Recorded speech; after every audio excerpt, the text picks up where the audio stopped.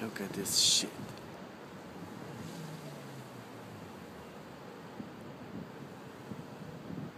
No direct sunlight. We are fucked. We are fucked.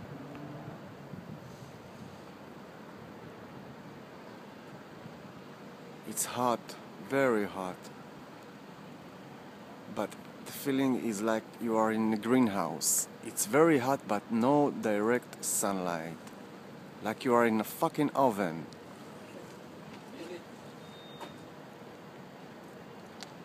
יודע שתעשו, בסדר.